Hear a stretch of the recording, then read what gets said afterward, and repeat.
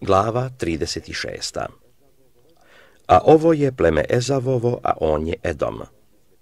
Ezav se oženi između kćeri Hananejskih Adom, kćerju Elona Hetejina i Olibamom kćerju Ane, sina Sebeona Heveina. I Bazematom kćerju Izmaelovom, sestrom Nabajatovom.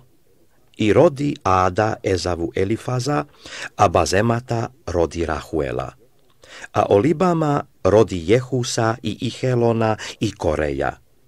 To su sinovi Ezavovi koji mu se rodiše u zemlji Hananskoj. I Ezav uze žene svoje i sinove svoje, i kćeri svoje i sve domašnje svoje, i stada svoja i svu stoku svoju i sve blago svoje, što bješe stekao u zemlji Hananskoj. Pa otide u drugu zemlju, daleko od Jakova brata svojega jer im blago bijaše vrlo veliko, te ne mogahu živjeti zajedno, niti ih zemlja gdje bijahu došljaci mogaše nositi od množine stoke njihove. I Ezav življaše na planini Seiru. Ezav je Edom. A ovo je pleme Ezava, oca Edomcima na planini Seiru. Ovo su imena sinova Ezavovih. Elifas, sin Ade žene Ezavove, i Rahuel, sin Bazemate žene Ezavove. A Elifazovi sinovi bijahu Teman, Omar, Sefo, Gatam i Cenez. A Tamna bješe inoča Elifazu sinu Ezavovu i rodi Elifazu Amaleka. To su sinovi Ade, žene Ezavove. A ovo su sinovi Rehuelovi, Nahat, Zara, Sama i Meza. To bjehu sinovi Bazemate, žene Ezavove. A ovo su sinovi Olibame, kćeri Ane, sina Sebeonova, žene Ezavove. Ona rodi Ezavu Jehusa i Ihelona i Koreja. Ovo su starješine sinovima Ezavovim.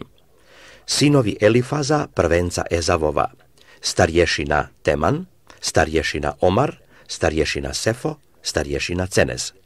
Starješina Korej, starješina Gatam, starješina Amalek. To su starješine od Elifaza u zemlji Edomskoj. To su sinovi Adini.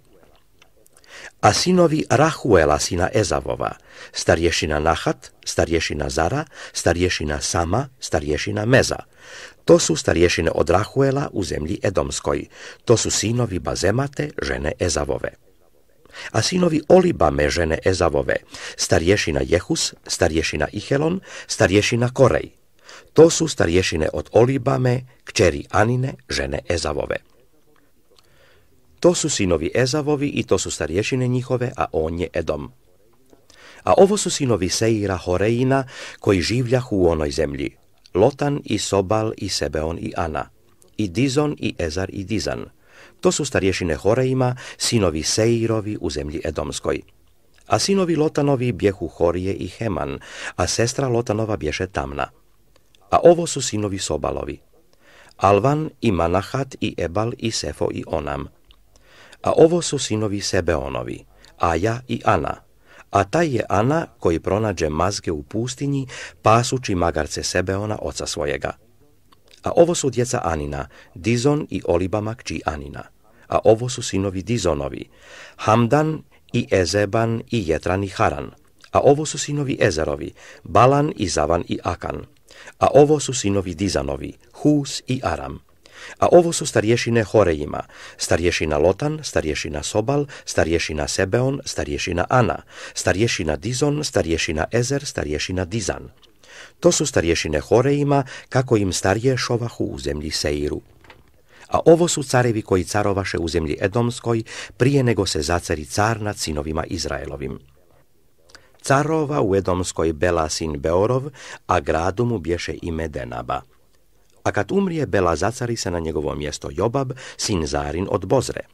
A kad umrije Jobab, zacari se na njegovo mjesto Huzam od zemlje Temanovske. A kad umrije Huzam, zacari se na njegovo mjesto Adad, sin Badadov, koji isječe Madijance u polju Moapskom, a gradu mu bješe ime Avit a kad umrije Adad, zacari se na njegovo mjesto Semla iz Mazreke.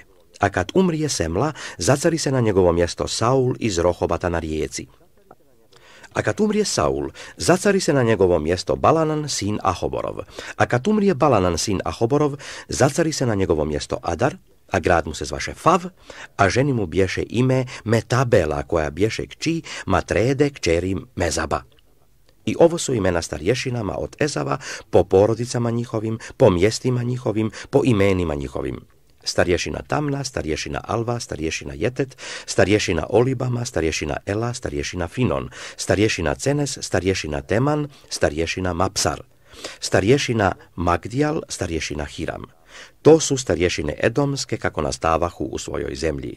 Ovaj Ezav bi otac Edomcima.